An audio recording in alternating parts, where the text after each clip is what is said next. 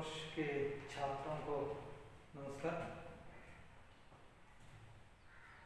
PUC प्रथम वर्ष के पाठ्यक्रम के आधार पर पहला पाठ है आपके लिए, जो प्रेमचंद से लिखित बड़े घर की बेटी। और दूसरा पाठ है स्वामी विवेकानंद से लिखित युवाओं। स्वामी विवेकानंद जी के नाम सुनते ही हमारे शरीर में रोंगटे खड़े हो जाते हैं। क्योंकि नाम में ही उतनी शक्ति है। देश के लिए अपने जीवन को ही समाप्त करने के लिए वो तुले हुए थे। देश के उद्धार के लिए अपने सर्वस्व को त्याग दिया था। ऐसे महान व्यक्ति थे स्वामी विवेकानंद जी। विवेकानंद जी को युवकों पर बहुत बड़ा विश्वास था। नव पीढ़ी पर उनको अगाध विश्वास था। वो मानते थे, आगे हमारे देश को जो उन्नति के स्थान पर ले जाने वाले यही युवा पीढ़ी है। ऐसे हमें कुछ विचारों को प्रस्तुत करते हुए तो शुभ बल को भरने के लिए वो बहुत प्रयास किया है। युवाओं से कुछ बातें बताना चाहते हैं, हमें प्रेरित करना चाहते हैं। देश को कैसे आगे ले जाए? ये बताने के लिए ही युवाओं से पाठ के आधार पर अपने विचारों को व्यक्त करते हैं स्वामी विवेकानंद जी। उनके जीवन पर आधारित कुछ विचारों को देखने के बाद हम युवाओं से पाठ के सार को देखेंगे। तो युवाओं से लेखक है स्वामी विवेकानंद। विवेकानंद जी का जन्म हुआ था 12 जनवरी अठारह सौ तिरसठ तो कलकत्ता में उनका जन्म हुआ था। नरेंद्र नाथ उनके बचपन का नाम था। विवेकानंद जी के पिता का नाम है विश्वनाथ दत्ता और माता है भुवनेश्वरी देवी। और अत्यंत एक शक्तिशाली गुरु विवेकानंद जी के जीवन को ही बदलने जो बदल कर इन्हें जीवन में दैवत्व को अपनाने के लिए प्रेरित थे वही गुरु, जो गुरु का नाम है श्री रामकृष्ण परमहंस। माता, पिता और गुरु इन तीनों के आदर्शों को अपनाते हुए, जीवन में आगे बढ़ते हुए देश के कीर्ति को अगाध उन्नति पर ले जाकर अपने जीवन को ही जो देश के लिए अर्पण कर चुके थे। विवेकानंद जी का मृत्यु हुआ था 4 जुलाई। 1902 में तो श्री रामकृष्ण परमहंस इनके गुरु थे। स्वामी विवेकानंद अच्छे वक्ता थे एवं सभी धर्मों के अध्येता भी थे। तो सभी धर्मों को मानते थे। किसी एक धर्म को मानकर दूसरे धर्म को तिरस्कार किया था, ऐसा भी नहीं। सभी धर्मों को वो मानते थे और विश्वास भी रखते थे उन पर। जब अठारह सौ तिरानवे में अमेरिका के चिकागो शहर में आयोजित सर्वधर्म सम्मेलन में हिंदू धर्म, भक्ति और वेदांत के बारे में स्वामी जी ने जो भाषण दिया, वह अद्वितीय था। जब चिकागो में चल रहा था, विश्व धर्म सम्मेलन, वहाँ भारत के प्रतिनिधि के रूप में वो गए थे। और जो वहाँ पर भाषण दिया था और सर्वधर्म सम्मेलन में हिंदू धर्म, भक्ति और वेदांत के बारे में उन्होंने जो भाषण दिया था, वो अद्वितीय था। देखने वाले दंग रह गए। आप भारत देश, भारत की प्रजा और भारतीय संस्कृति के अच्छे ज्ञाता थे। देश के बारे में वो सब कुछ जानते थे। देश प्रेम उनके रग रग में भरा हुआ था। इस कारण खंड खंडांतर में हिंदू धर्म का औन्नत्य, भक्ति एवं वेदांत के प्रचार प्रसार में आप निरंतर कार्य करते रहे। देश के जो सेवा करते हुए हिंदू धर्म का उन्नति को और भक्ति और वेदांत को प्रचार और प्रसार करते हुए खंड खंडांतर इन्हें जो देश विदेश में प्रचार प्रसार करने लगे। तो आपकी मृत्यु 4 जुलाई 1902 को हुई। तो इन्होंने कर्म योग भगवान कृष्ण और भगवत गीता मरणोत्तर जीवन मेरे गुरुदेव आदि आपकी प्रसिद्ध रचनाएँ हैं। अनेक रचनाओं को उन्होंने किया है। प्रस्तुत संबोधन युवाओं से में स्वामी विवेकानंद जी ने नवयुवकों का मार्गदर्शन किया है। आज के युवा पीढ़ी को हम देखते हैं जो अपने जीवन को स्वयं बर्बाद करने लगे ऐसे युवकों को जागृत करते हुए, जो वो कुछ विचारों को नव युवकों के लिए बताते हुए उनके मार्गदर्शन करना चाहते हैं। आपका विश्वास था कि देश का उद्धार केवल नव युवक एवं नव युवतियों के द्वारा ही संभव है। अगर देश को आगे ले जाने की शक्ति है वो सिर्फ़, जो सिर्फ़ नवयुवक और युवतियों के हाथ में है। और वो बहुत जो विश्वास रखते थे। स्वामी विवेकानंद जी ने हमें मानव निर्माण करे धर्म एवं दर्शन की शिक्षा दे, दी है, जो हमारे राष्ट्र निर्माण के लिए उनकी अनुपम देन है। जो राष्ट्र निर्माणकारी धर्म एवं दर्शन का शिक्षा देते हैं। देश के नाश नहीं, जो हिंसा नहीं शांति के आधार पर विश्व को विश्व को आगे ले जाना चाहते हैं और भारत की उन्नति को ऊपर उठाना चाहते थे। स्वामी जी की एक सौ पचासवीं जयंती के उपलक्ष्य में उनकी विचारधारा का परिचय विद्यार्थियों को दिलाने के लिए ही जो इस पाठ का चयन किया गया है और वो जो हमें मार्गदर्शन करना चाहते हैं नव युवक और युवतियों को कुछ अपने विचारों को प्रस्तुत करना चाहते हैं। तो बताना चाहते हैं, मेरी आशा मेरा विश्वास नवीन पीढ़ी के नव युवकों पर है। उन्हीं में से मैं अपने कार्यकर्ताओं का संग्रह करूँगा। जो उनको बहुत विश्वास था, आज के नव युवक और युवतियों के जो ऊपर अगाध विश्वास रखते थे और कहते थे कि जो उन्हीं युवक और युवतियों में मैं अपने कार्यकर्ताओं का संग्रह करूँगा। और वो बताना चाहते हैं कि वर्तमान काल में जो अनुष्ठेय आदर्श को मैंने एक निर्दिष्ट रूप में व्यक्त कर दिया है और उसको जो कार्यान्वित करने के लिए मैंने अपना जीवन समर्पित कर दिया। है जो देश के उन्नति को वो चाहते हैं और उस कार्य में वो आगे ही बढ़ जो आगे बढ़ते हुए वो बताना चाहते हैं कि जो आज के नव युवक और युवतियाँ जो देश की उन्नति के लिए अपने जीवन को भी जो कुर्बान कर सकते हैं। और भारत वर्ष का पुनरुत्थान होगा।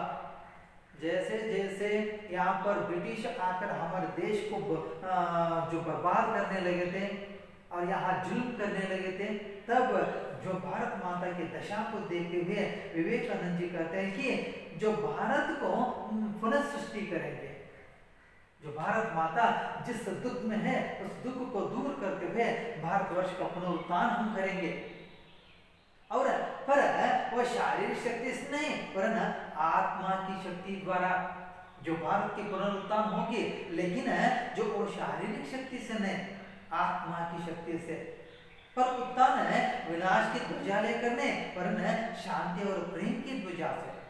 हम हिंसा करके, युद्ध करके, या ऐसे वैसे विनाश की ध्वजा लेकर पुनर्सृष्टि नहीं करेंगे। तो भारत की या फिर से पुनरुत्थान होगा कि शांति और प्रेम की ध्वजा से। मैं अपने सामने एक सजीव दृश्य अवश्य देख रहा हूँ कि हमारी वृद्ध माता पुनः एक बार जागृत होकर अपने सिंहासन पर नव यौवन पूर्ण और जो पूर्व की अपेक्षा अधिक महामान्वित होकर विराजी है। तो अधिक महिमान्वित होकर फिर से अपने सिंहासन पर बैठेंगे, ऐसे हमने हमने जो एक चित्र देखने लगे। आशा है कि भारत फिर से जो पुनरुत्थान हो जाएगा। तो वो बताना चाहते हैं कि भारत की उन्नति को। भारत के राष्ट्रीय आदर्श है त्याग और सेवा। भारत के राष्ट्रीय आदर्श है त्याग और सेवा। त्याग और सेवा के आधार पर जो हम कार्य कर सकते हैं और कोई जो सहायता लेकर नहीं कर सकते, उतना शक्ति है त्याग और सेवा में। तो केवल वही व्यक्ति सबकी अपेक्षा उत्तम रूप से कार्य करता है जो पूर्णतया निस्वार्थी है, जिसे न तो धन की लालसा है और न कीर्ति की और न किसी अन्य वस्तु की है। भारत की पुनरुत्थान होगी और केवल जो ऐसे व्यक्ति के सहारे पर, जो व्यक्ति सबकी अपेक्षा उत्तम कार्य करता है, जो पूर्णतया निस्वार्थी है। और जिसे न तो धन की लालसा और न कीर्ति की और न जो किसी अन्य वस्तु की है। जो व्यक्ति को अन्य वस्तु की कोई लालसा न हो जाए आशा न हो जाए और निस्वार्थी रहे, स्वार्थ स्वार्थ व्यक्ति कुछ कार्य नहीं कर सकता। और जो निस्वार्थी है और पूर्णतः अपने आप को देश के लिए समर्पित कर सकता है, वही कार्य करता है। और तो जब तक करोड़ों भूखे और अशिक्षित रहेंगे, तब तक मैं प्रत्येक उस आदमी को विश्वासघातक समझूँगा जो उनके खर्चा पर जो शिक्षित हुआ परंतु, जो उन पर तनिक भी ध्यान नहीं देता, शिक्षा को भी वो बहुत ध्यान दिए हैं। यहाँ पर जब तक अशिक्षित रहते हैं, तब तक देश की उन्नति नहीं हो जाएगी। इसलिए जो हमारे देश में रहने वाले लोग हैं, शिक्षित हो जाए तभी मात्र भारत की उन्नति हो जाएगी। तो हम तो ईश्वर की संतान है। हमारे आनंद के भागी हैं। पवित्र और पूर्ण आत्मा है। और हमें साहसी होकर, तेजस्वी होकर आगे बढ़ना है। देश की उन्नति के लिए कार्य करना है। तभी मात्र देश उद्धार हो जाएगा। जाति तो व्यक्तियों की केवल समष्टि है। जाति पाति के आधार पर जो लोग लड़ते हैं दल दल लड़ते हैं, उस दल दल में फंसकर अपने जीवन को बर्बाद करने लगे हैं, समाज को बर्बाद करने लगे हैं। ऐसे व्यक्तियों को लेकर बताना चाहते हैं कि जाति पाति नहीं है। जाति तो व्यक्तियों की केवल समष्टि है। शिक्षा के द्वारा प्रत्येक व्यक्ति को उपयुक्त बनाने के सिवाय मेरे और कोई उच्च आकांक्षा नहीं है। वो बताना चाहते हैं कि लोगों को उद्धार तब होगा जब वो व्यक्ति शिक्षित हो जाए। जो शिक्षण के आधार पर ही उपयुक्त बन जाएगा, शिक्षण के आधार पर ही वो उन्नति हो जाएगा। अशिक्षित को लेकर हम उन्नति नहीं पा सकेंगे। इसलिए जो केवल मनुष्यों की आवश्यकता है, हमें तो मनुष्यों की आवश्यकता है। जो मनुष्यत्व को खोकर हम पशुत्व को पालने लगे हम जो एक दूसरे पर हावी होने लगे हैं, जान लेने पर तुले हुए हैं, हिंसा को भड़काने लगे हैं हम हिंसा की ज़रूरत नहीं है, अहिंसा की ज़रूरत है, जो केवल मानव की आवश्यकता है, मनुष्यों की आवश्यकता है, दानव की आवश्यकता नहीं। और वो कहते हैं कि जो हमें आवश्यकता है वीरवान तेजस्वी श्रद्धा संपन्न और अंत तक कपट रहित नव युवकों के ऐसे व्यक्तियों को लेकर हम आगे बढ़ सकते हैं। लेकिन जो दूसरे कुछ लोग मन में हिंसा भड़का कर हिंसा रखते हुए स्वार्थी होकर दूसरों के सर्वनाश करना चाहते हैं, ऐसे व्यक्तियों से देश का उद्धार नहीं हो जाएगा।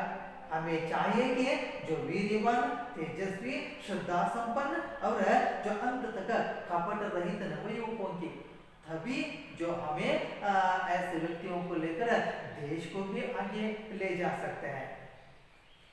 तो मैंने तो इन नवयुवकों का संगठन करने के लिए जन्म लिया है। जो हमारे देश में रहने वाले नवयुवकों पर बहुत बड़ी ज़िम्मेदारी है। उनको संगठित करना है, उनको साथ लेकर जाना है और देश की भी उन्नति करना है। तो लोग स्वदेश भक्ति की चर्चा करते हैं। लोग स्वदेश भक्ति की चर्चा करते हैं। भाषण देने से कुछ नहीं होगा। भाषण देने से जो देश को उद्धार नहीं हो जाएगा। स्वदेश भक्ति में विश्वास करता हूँ, पर स्वदेश भक्ति के संबंध में मेरा एक आदर्श है। बड़े काम करने के लिए तीन चीज़ों की आवश्यकता होती है। बुद्धि और विचार शक्ति। हम लोगों की थोड़ी सहायता कर सकते हैं।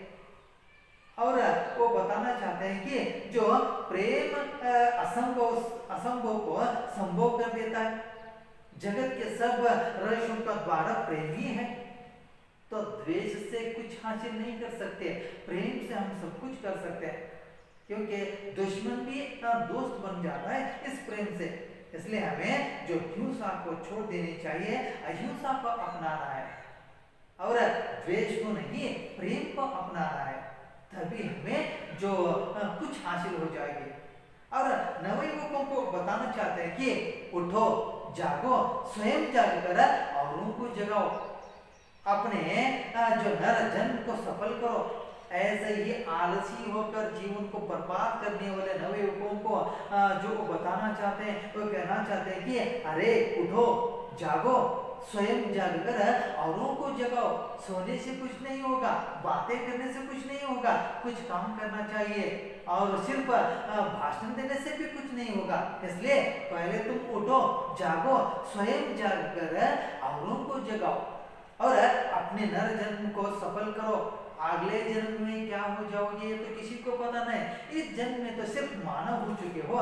इस नर जन्म को स्वार्थ यानी नर जन्म को सफल बनाओ। और उत्कृष्ट जिन्हें उत्कृष्ट जागृत जो प्राप्त वर वरान्वी बोधन, वरान्वी बोधत ने उठो, जागो, और तब तक रुको नहीं, जब तक लक्ष्य प्राप्त न हो जाए। उठो, जागो, तुम भी स्वयं जगो, और दूसरों को भी जगाओ। और उठो, जागो, और तब तक रुको नहीं, जब तक लक्ष्य प्राप्त न हो जाए। जब तक तुम अपने उद्देश्य को उद्देश्य को प्राप्त नहीं कर सकते, अपने जो लक्ष्य को प्राप्त नहीं कर सकते, तब तक तुम रुको नहीं, आगे बढ़ते रहो। तो जो लोगों को एक लक्ष्य की ओर बढ़ने के लिए सलाह देते हैं। और कहते हैं कि प्रत्येक आत्मा ही अव्यक्त ब्रह्म है, प्रत्येक आत्मा ही अव्यक्त ब्रह्म है। और बाह्य एवं अंत प्रकृति दोनों का नियतन कर इस अंतर्निहित ब्रह्म स्वरूप को अव्यक्ति करना ही जो जीवन का देह है प्रत्येक आत्मा ही अव्यक्त ब्रह्म है हम अपने आप को जाग कर देखना है अंदर झाँक कर देखना है क्योंकि प्रत्येक आत्मा ही अव्यक्त ब्रह्म है ब्रह्म को ढूँढने के लिए इधर उधर भटकने की कोई ज़रूरत नहीं प्रत्येक आत्मा ही यहाँ पर अव्यक्त ब्रह्म होता है। और वो बताना चाहते हैं कि शिक्षा के बारे में बताना चाहते हैं। शिक्षा विविध जानकारियों का ढेर नहीं है, जो तुम्हारे मस्तिष्क में टूस दिया गया है। और तो जो आत्महत्या हुए बिना वह, वहाँ आजन्म पड़ा रहकर जो गड़बड़ मचाया करता है। शिक्षण के द्वारा जीवन के सब कुछ जो हासिल नहीं कर सकते और भी कुछ है। पाठ्य पुस्तक के बिना और कुछ धर्म ग्रंथों के बिना और भी कुछ जीवन है। हमें जो उन विचारों की भी अनुभूति कर लेनी आवश्यकता है, जो जीवन निर्माण, मनुष्य निर्माण तथा चरित्र निर्माण में सहायक हो। हमें और भी कुछ ज्ञान को प्राप्त करने की ज़रूरत है। क्योंकि वो जीव निर्माण में मनुष्य निर्माण में और चरित्र निर्माण में सहायक हो। अपने जीवन और चरित्र का निर्माण कर लेते हैं। तो आप पूरे ग्रंथालय को कंठस्थ करने वाले की अपेक्षा अधिक शिक्षित है, जो सिर्फ़ धर्म ग्रंथों को पाठ्य पुस्तकों को कंठस्थ करते हुए जो कुछ कुछ बताना चाहते हैं, उससे अधिक और बेहतर है कि जीवन निर्माण, मनुष्य निर्माण और चरित्र निर्माण करने की शक्ति हो जाए, ऐसे विचारों को प्राप्त कर ले। और बताया कहते हैं कि मैं तुम सबसे यही चाहता हूँ कि तुम आत्म प्रतिष्ठा दलबंदी और ईर्षा को सदा के लिए छोड़ दो। हम अपने अपने जाति को लेकर लड़ते हैं।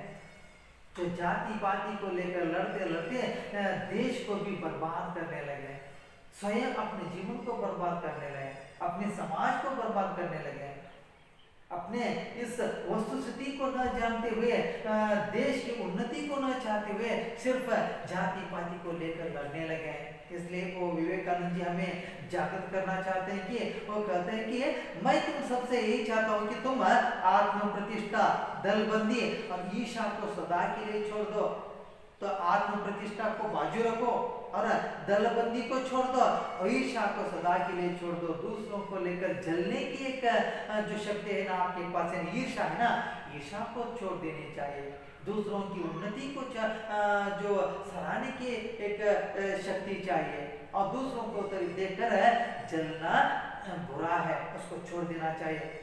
तुम्हें पृथ्वी माता की तरह सहनशील होना चाहिए।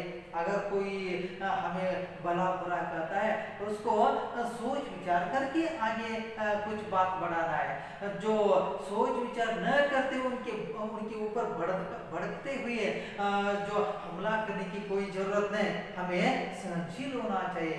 जैसे धरती माता ने पृथ्वी माता होती है ना, पृथ्वी माता के ऊपर हम अनेक जुल्म करते हैं। कुकृत्य करते हैं, उसको धो डालते हैं, उसको चीर डालते हैं, फिर भी वो शांत रहती है पृथ्वी माता। वैसे ही पृथ्वी माता की तरह सहनशील होना चाहिए। यदि तुम ये गुण प्राप्त कर सको तो संसार तुम्हारे पैरों पर लौटेगा। तो ऐसे कुछ विचारों को तुम प्राप्त कर सकते हो तो सारी दुनिया तुम्हारे कदम पर आज जा गिरेगी इसलिए जो वो बताना चाहते हैं कि जो क्रोध को छोड़ देना चाहिए, शांति को अपना, अपनाना चाहिए, प्रेम को अपनाना चाहिए, प्रेम के साथ और शांति के सहारे और उन्नति के आधार पर हम अच्छे विचारों को लेकर जाना है और देश की प्रतिष्ठा को लेकर जाना है और प्रतिष्ठा को बढ़ाना है, ऐसा कार्य सिर्फ़ भारत के नवयुवक और युवतियाँ ही कर सकते हैं और वो आगे सारी दुनिया में भारत की श्रेष्ठता को प्रतिपादन करना है और उन्नत उन्नत स्थान पर ले जाना है। सारे विश्व में भारत की परंपरा को, जो श्रेष्ठ स्थान पर लाकर खड़ा करने की ज़िम्मेदारी आपके ऊपर है।